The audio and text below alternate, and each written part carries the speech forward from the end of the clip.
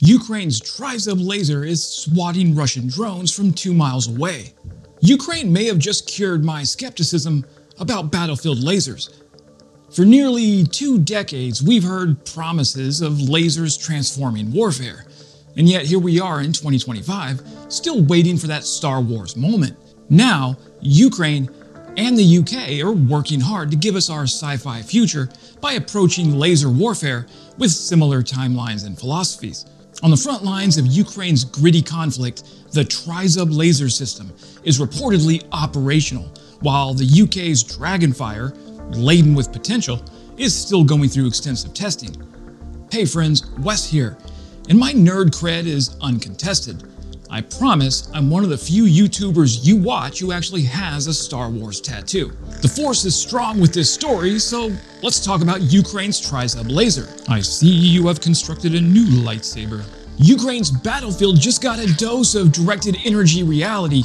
As they're now famous for, Ukraine has skipped the tactical hype and gone straight to battlefield utility. According to Colonel Vadym Sukharevskyi of Ukraine's unmanned system forces, the Tryzub laser weapon is already zapping low-flying drones and aircraft at distances of over 2 kilometers. Named after the trident symbol of Ukrainian independence, the Tryzub system claims to neutralize Russian UAVs with pinpoint precision. This technological leap is impressive, not least because Ukraine has been resourcefully innovating under immense pressure. From adapting consumer grade drones for reconnaissance to integrating Western supplied missiles into Frankensams, Ukraine has become a global case study in battlefield ingenuity.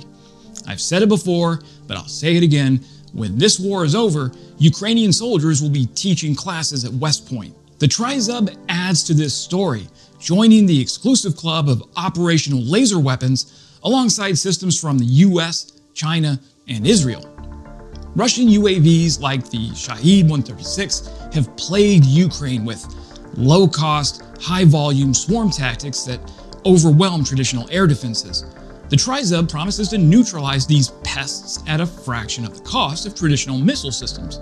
Instead of spending millions on interceptor missiles, $4 million for a single Patriot, for instance, Ukraine can deploy a laser beam to disable drones for pennies per shot. A budget conscious solution in a war of attrition. The physics behind the Tryzub are both simple and brilliant. Directed energy weapons concentrate beams of light to heat and destroy specific components of a target. Against drones, this might mean melting circuits, burning through lightweight fuselages, or igniting battery fuel sources. Such precision minimizes collateral damage, a crucial factor in Ukraine's densely populated combat zones. Despite its promise, experts like Fabian Hoffmann of the Oslo Nuclear Project have flagged significant challenges for the Tryzub. Atmospheric interference and thermal blooming can weaken a laser's power over distance, while weather conditions such as rain or dust storms scatter the beam's energy.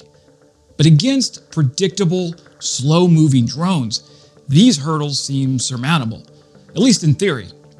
Logistics could also make or break the Tryzub. Its real world effectiveness depends not just on its laser, but its mobility, energy demands, and ease of deployment.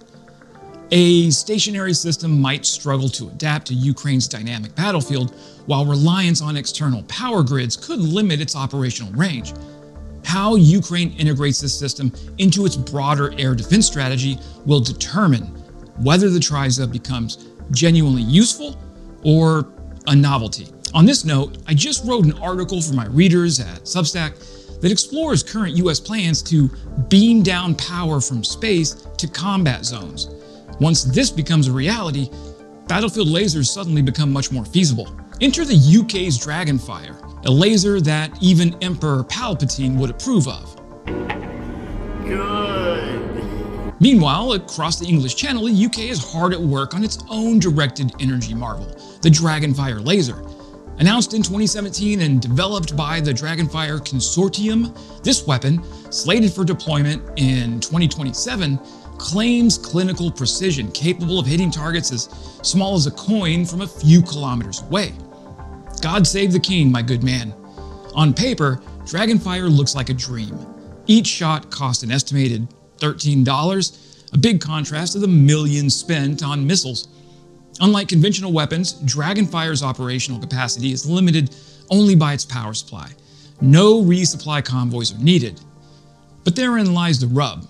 It's still under development, a decade behind Ukraine's scrappy Tryzub. Although there are some reports that the Dragonfire is undergoing testing right now in Ukraine. Dragonfire's beam combining technology, where multiple lasers merge into a single cohesive beam, is undeniably impressive, sort of like the Death Star. This precision weapon can target specific components of a drone or a missile, disabling it without causing collateral damage. Its advanced optics stabilize the laser in challenging conditions, ensuring it can stay locked onto its target despite vibrations, turbulence, or movement. But the system's relatively low power output 50 kilowatts compared to the 150 kilowatt US Navy's Helios system limits its ability to neutralize more robust targets like advanced drones or artillery shells. Just like with the Tryzub, atmospheric scattering and thermal blooming also persist as engineering challenges, reducing Dragonfire's range and effectiveness in real-world combat conditions. Originally projected for deployment in the 2030s, Dragonfire's timeline was accelerated to 2027, which is still light years away by wartime standards. Pandemic disruptions and technical setbacks have hampered progress, leaving the system confined to controlled trials. While these tests have demonstrated its capabilities, they're a far cry from battlefield conditions. The comparison between Tryzub and Dragonfire isn't just about technology, it's about immediacy versus potential. Ukraine's Tryzub is a pragmatic, cost-effective response to an urgent threat, while Dragonfire represents a long-term investment in cutting-edge warfare. Each offers lessons in the evolving dynamics of modern military strategy. Both systems boast an extraordinarily low cost per shot. Tryzub and Dragonfire disrupt traditional economics by delivering cheap, precise countermeasures to inexpensive threats like drones. This point is crucial and was the premise behind my video on the Gravehawk, also from the UK. We need cheaper air defense solutions to counter cheap munitions, full stop.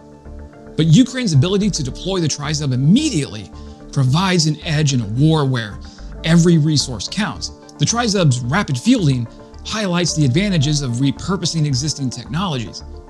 Built from commercially available components, it sidesteps years of R&D to deliver an operational solution.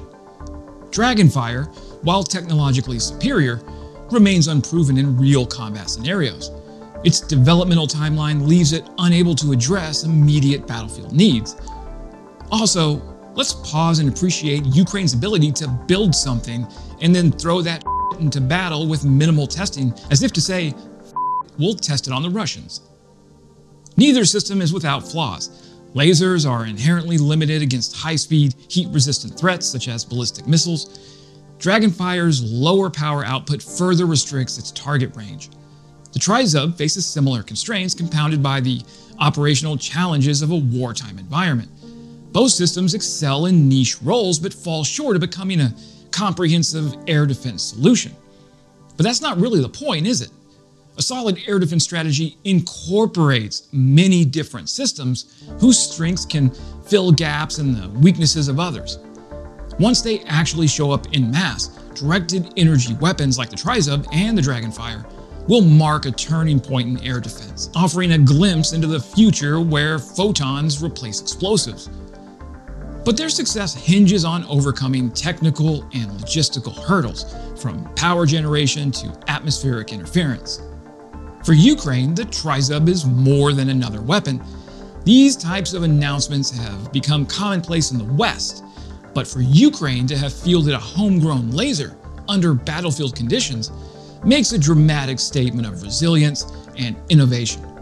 For the UK, Dragonfire represents the promise of precision warfare eventually. Still, lasers on the battlefield appeal to the Hollywood sci-fi nerd in all of us. We find it irresistible and we want to know more, which is likely why you clicked on this video, or you just enjoy the smut that I peddle. For now, Tryzub is shaping the battlefield in real time while Dragonfire's promise remains on the horizon. Both systems remind us that, in the race to innovate, timing can be just as critical as technology. And as Russia continues its drone heavy assault, the big takeaway is this. When it comes to lasers, Ukraine isn't waiting for Hollywood. It's rewriting the script in real time. That's it, friends. Subscribe if you're a fan of the original trilogy, and as always, stay frosty. Glory to Ukraine, glory to the heroes. Crimea is Ukraine.